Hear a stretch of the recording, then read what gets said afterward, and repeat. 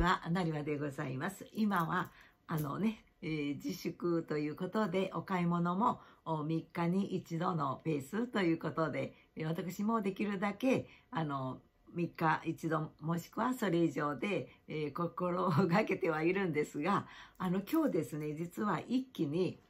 お米とお水とパンがあなくなってしまったので、えー、お米はどうしてもね、なくてはならないので、それとお水もですね、えー、なので、スーパーにちょっとね、それとパンもそうですね。早めに行かないと、特にパンは、あの、自分がね、あの、食べたい種類のパンがないので、早めにちょっと今日そうですね、お昼一番ぐらいでお買い物に行ってきました。で、まあ今日子供の日ということで、えー、混雑するかなと思って、すごく気にして出かけたんですが、まあ、あの、外を歩いてる方結構多かったですね。お子様連れが多かったような気がします。で、スーパーの中は、まあ、それほどでもなかったですね。えー、まあ、パラパラという感じでございました。で、えー、それでね、その、お米とパンとお水、それと、まあ、ついでに、あの、足りないものもね、何回も出かけるよりかはいいと思いまして、足りないものもちょっと足して、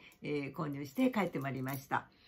それがですね、えまあ、お米と水は結構重いですよね。一気に、あの、買ってくるということがね、どちらも重いですよね。で、まあ、あの、スーパーのカートンにお水を、ね、お水、大きなペットボトルを2本入れて、えそれからお米を入れて、パンを入れて、もうそれだけで ほぼカゴがいっぱいになるような状態なんですね。えー、それで、まあ、多少、あの、刻みネギだったりとか、あ少しね、いるものを買ってきて、えー、で、買ってきたんですけれど、その時にね、もしかしたらこれお米を買ったらね、すごい重くなるだろうから、エコバッグエコバッグだったらね、もうとてもじゃないけれど、持ち帰れないと思ったので、あの、ワッチフィールドのね、娘からあの母の日のプレゼントとしてもらったデイバッグになるトートバッグがあるんですね。えそれを持って出かけていきました。で、最初ね、お米5キロのお米を考えていたんですが、お水がね、なんせあるんで、それもパンもあるし、それで、ええ、と思って、でね、そのお米が置いてあるところがね、あの、お客様があの、レジを並んで、えカートでたくさんの方が並んでたので、もう時間をね、あまりそこで、なんだろう、選んでられないという状況だったので、えちょっとすみません、お米をということでお願いして、ちょっと間を空けていただいて、もう手元にあったものをパッと取ってえ購入してきました。あの、5キロちょっとやめました。さすがにちょっとお水もあって重いので、2キロにしてね、えー、で、あの、お勘定を済ませて、えそれから、あの、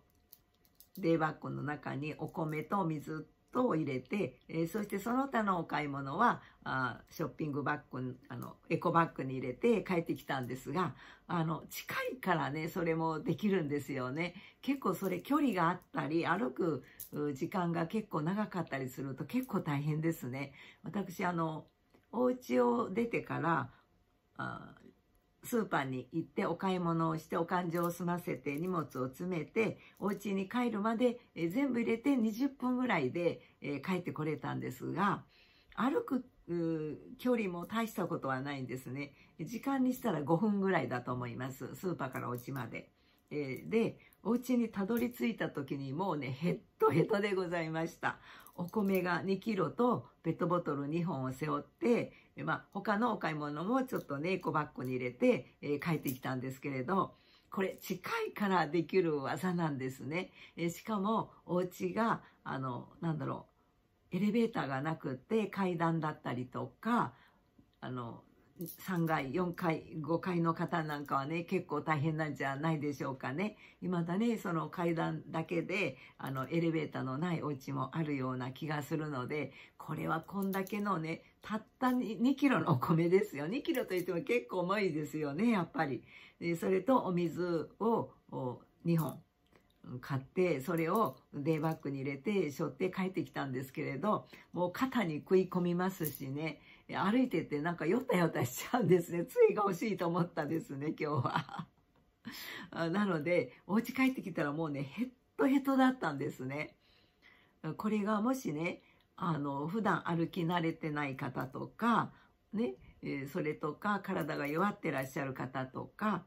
もしくは、あの、スーパーまでが遠い方ですね。それを背負って帰ってきた腰を痛めますね。私も帰ってきてしばらくの間、あの、たった2キロのお米とペットボトル2本を、ね、デバッグで背負って、帰ってきただけなのに、お家帰ったら腰がね、何気に変な感じがするんですね。笑うと言いますか。これ、これ以上重いもの持ってた腰がちょっとぎっくり腰じゃないけれど、なんかね、えー、変に痛めたんじゃないかななんて思ったりしました。あなので皆様方ね、やはり人数私一人暮らしですらあそんな感じなんですね。これがご家族が大勢いらっしゃってたら一人での買い物はとってもきついですね。えしかも3日に1回ということはすごくなんかきつく感じましたね。あの一人でもそうですからね。えなのでまあね、えそうは言いましても、まあ、できるだけ、え自粛と言われておりますので、まあ必要以上なものは何でしょう、出かけないで、やっぱりメモをしてね、あのメモをあの一回忘れたことがございまして、そうするとね、やっぱり手間取っちゃうんですよね。何があったかしらと思いながらうろうろうろうろしますからね。えー、メモがあれば順番に、あ、あね、取って品物を取って購入してきます。来れますけれど、メモがないと考えながらですからね。えー、なのでやっぱりお買い物をするときはメモがあった方がいいと思います。で、今日はたまたま、あの、お米とお水とパンが切れたので、えー、まあ、重いものばか、パンは別としましてもね、お水とお米は結構重いですよね。えー、なので、結構大変だなという実感をした次第でございました。まあ皆様方もそんなので、できるだけね、分けて重いものと軽いものが一度にね、買ってこなくてもいいように、えー、こまめに、あの、気をつけてね、あの、バランスよく重さをね、バランスよく分けて、えー、購入されるといいですね。それかもうあれですね。重いものはインターネットですね。えー、それか、あの、お届けをしていただきましょう。多分、あの、配達もあると思うので、ね、えー、注文して配達をしていただいたら、お水とかお米は特にそうですよね。まあ、あすみません。ちょっとね、今ご飯炊いておりましてえー、それで、あの、近いからついね、買いに行けばいいという頭があったんですが、あ近くてもこれはちょっと重いものはね、インターネットを利用した方がいいなと思いました。なので今後はお水とかお米とかそういった重いものはね、インターネットサイトを利用して、えー、購入したいと思っております。それと、話はちょっと違うんですが、あの、先日、キャンドゥさんで、これ、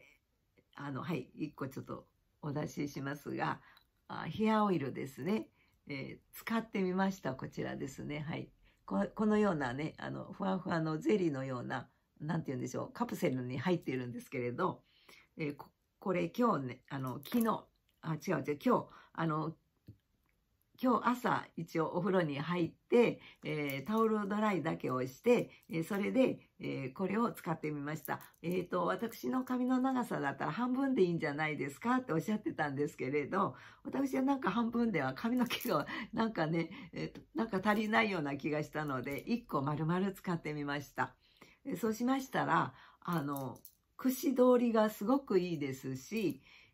しかも、匂いもきつくなくって、えー、軽くてふわっとしたいい香りで、えー、まあ、あの、つけた後すぐ匂いが消えるんですね。いつまでも匂いが残ってる。まあ、私が感じない、だけかもしれませんけれど、今ちょっと顔を振ってみましたけれど、ここをなんか風でこう匂いがするかなと思ったんですが、しないですね。え、決して鼻は悪くないですよ。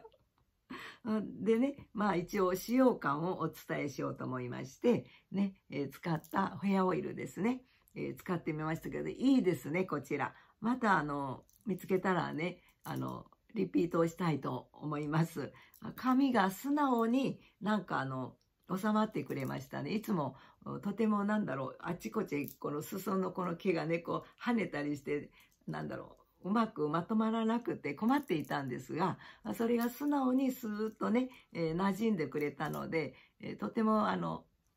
ヘアスタイルが整えやすかったですね。えー、串を入れた時も普通なら引っかかりがあったりするんですよね。えー、だけれど引っかかることもなく、スーッと串も通りましたので、あ、これはいいなと思いました。しかも、これ、あの、6粒入って、100円でございましたので、えー、まあ、6粒で100円。で、あの、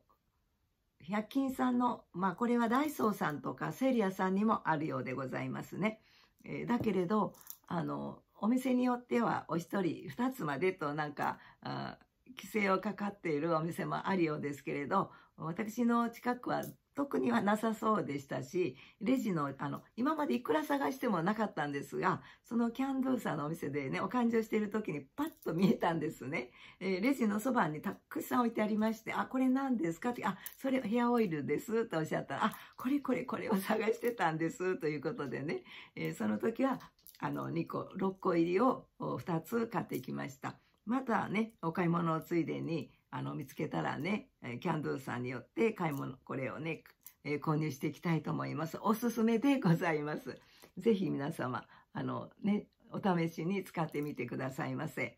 あの、本当にこれはいいですね。えー、これからはちょっとこれ、リピートですね。えー、品切れしないで、これからもずっと販売してほしいなと願っております。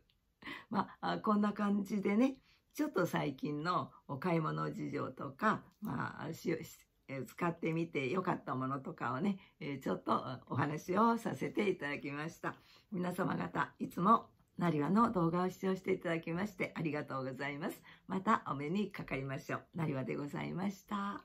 では。